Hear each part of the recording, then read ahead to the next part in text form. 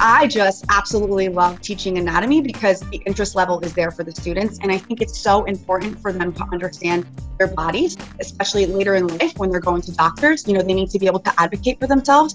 So having that basic understanding of how your body works and how diseases affect different systems is so important. And in that classroom, I do a flipped class and they do all their notes online, pre recorded videos, so that the rest of the periods when I'm with them, they're just in groups and they're collaborating and we're working through all the material together and making sure they understood all the concepts that were taught at home.